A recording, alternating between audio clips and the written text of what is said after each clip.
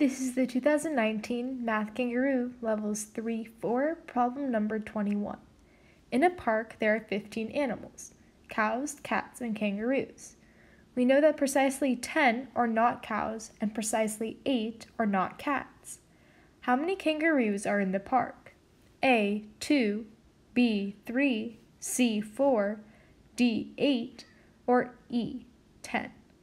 This is the problem as it originally appeared on the test. Here is the version with the solution. Let's start by finding out the total number of cows. We can do this by taking the total number of animals, which in the problem states 15 animals, and subtract the number that are not cows. The problem says that precisely 10 are not cows. And by doing this, we should get the number of cows.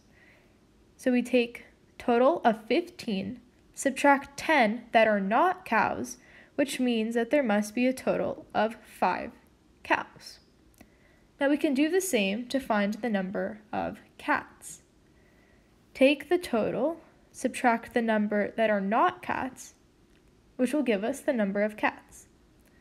So there's a total of 15 animals. The problem states that precisely 8 are not cats, which would mean that 7 must be cats. However, the problem asks for the number of kangaroos in the park. In order to do this, we must take the total number of animals and subtract the sum of the number of cows and the number of cats. To do this, we would take total 15 and subtract that from the sum of 5 and 7. As here, we found out there are a total of 5 cows, and here, there are a total of 7 cats.